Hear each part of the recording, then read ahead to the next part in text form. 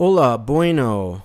Este es Aaron con AnetComputers.com. This is Aaron with AnetComputers.com. I have another video for you.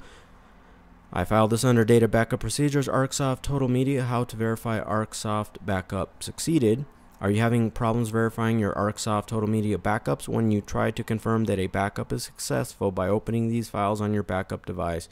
You may get a message that Windows is unable to open NBP files with ArcSoft Total Media Backup. You can't just view backed up files on your external drive directly by browsing. Question How do I view those files I have backed up?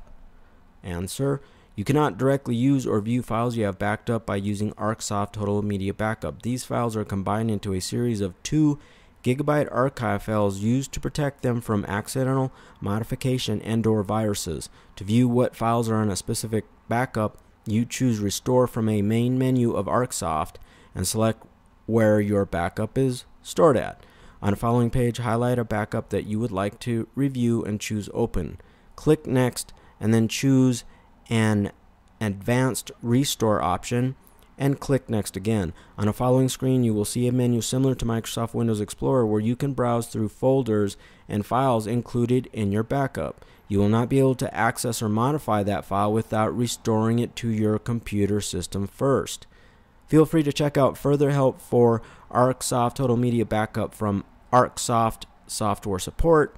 So they have one, two, three, four, five, six, seven additional questions and answers. So if my blog post didn't help you so that you can view your backed up files, first you have to restore them to your computer, then you can view them. And then I will include a link to this blog post on my website, anetcomputers.com, so that you can read it on your own time. So hopefully uh, this information was productive. You can always browse to anetcomputers.com for other possible potential tips, fixes, and information to help you fix your most common computer problems. Thank you for listening. Adios.